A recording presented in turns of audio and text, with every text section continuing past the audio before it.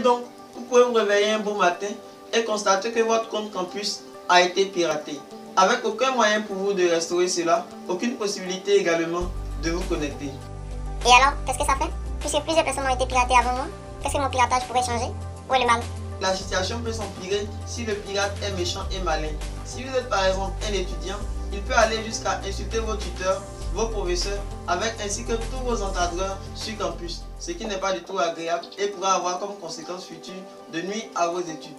Si vous êtes professeur également, il peut aller jusqu'à avoir des échanges déplacés avec euh, certains étudiants, voilà, que vous connaissez bien sûr, avec euh, vos collaborateurs ou même avec euh, vos supérieurs dans le domaine. Donc des deux côtés, vous voyez que déjà, c'est pas du tout agréable si votre compte campus est piraté. Bah oui, hein. Je te comprends maintenant le vieux. Je n'ai même pas pensé à ce. Allez, j'aime bien tes tutoriels. Merci Yacine. Et donc dans cette nouvelle vidéo, je vais vous montrer comment est-ce que le pirate pourrait procéder en utilisant la plateforme pédagogique de l'Université virtuelle de Côte d'Ivoire et voler vos identifiants, piquer vos mots de passe, des autres ennuis à vos études si vous êtes salir votre réputation si vous êtes un professeur ou un dirigeant à l'Université virtuelle de Côte d'Ivoire. Je donnerai également des astuces pour se protéger car je crois que c'est le plus essentiel.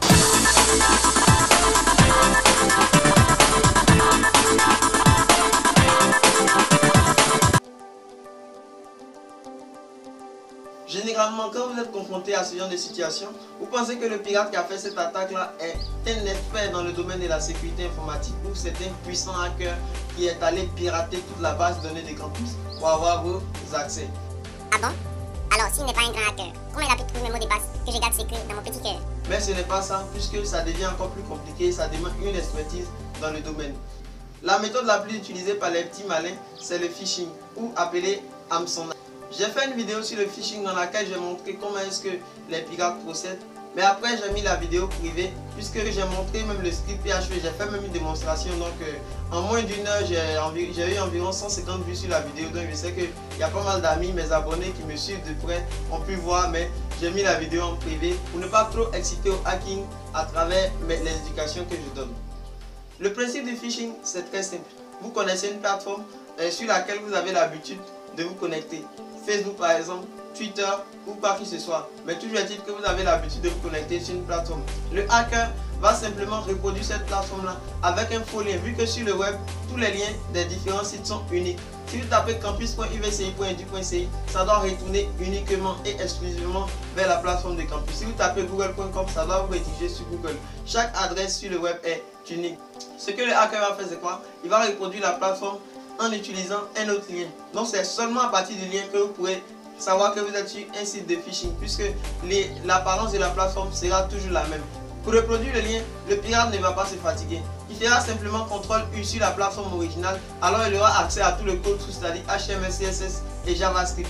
Après avoir copié et collé le HTML, le CSS et le JavaScript, il va maintenant appliquer un PHP au site. Et ce PHP là va lui permettre de récupérer vos données sur une page PHP, sur une autre page PHP ou même par mail, ce qui est très facile. Et j'ai même montré ce processus dans une vidéo que j'ai rendue privée comme je l'ai avancé au départ. Et donc je vous explique encore de façon approfondie.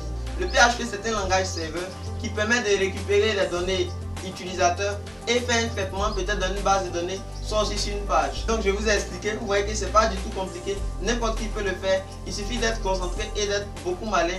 Et l'habitude de ces petits malins là c'est quoi? Après avoir généré le lien de phishing par exemple, il vous envoie par mail ou aussi euh, dans votre inbox Facebook ou WhatsApp. Si vous ne faites pas attention, dès que vous vous connectez, il reçoit automatiquement vos identifiants, c'est-à-dire votre ID et votre mot de passe. Dès lors, il peut se connecter à la plateforme euh, concernée et faire ce qu'il veut. Je vous montre par exemple cette capture d'écran là. Vous voyez que c'est le site de campus, il n'y a pas de défaut dessus, tout est propre. Mais regardez le lien, le lien est complètement différent. Donc euh, le, petit malin va faire quoi? Il va essayer de trouver un lien qui est proche de campus par exemple. Il peut essayer de faire campus-uvci.edu.ci. Vous voyez que là, s'il fait un tel site, vous voyez que ça peut vous avoir facilement puisque vous n'avez pas fait attention. C'est le tiret seulement qui change. Donc faites très attention quand vous êtes connecté à un site. Il faudra que le lien soit exactement le lien que vous connaissez. Facebook.com, il faudrait que ce soit Facebook.com. Pour se protéger du phishing, il y a un seul remède. C'est celui de faire attention au lien sur lequel vous cliquez. Et donc je crois que je vous ai donné maintenant les astuces pour se protéger contre le phishing. J'ai un article que j'ai écrit sur le piratage campus, comment protéger son compte campus? Je mettrai même le lien dans la description pour permettre d'atteindre l'article Et je crois que cet article-là vous fera, beaucoup de bien puisque j'ai montré là-bas dans tous les détails. Et tous ceux qui ont lu l'article sont vraiment à l'abri du phishing. Ainsi que toutes les autres formes de piratage que vous pouvez connaître dans le web. Aussi, euh, je pas de caméra, j'ai pas également euh, de logiciels sophistiqués pour faire de bons montages vidéo ou de meilleurs tutoriels par défaut de moyens. Si quelqu'un voudrait me faire un don, j'ai laissé des numéros dans la description sur lesquels vous pouvez appeler, me faire un bon geste. En tout cas, tout geste venant de vous, venant de la communauté en ma faveur, me fera beaucoup plaisir. On se retrouve pour les prochaines vidéos dans lesquelles je vais vous montrer aussi plusieurs formes de piratage. C'était Yacine, salut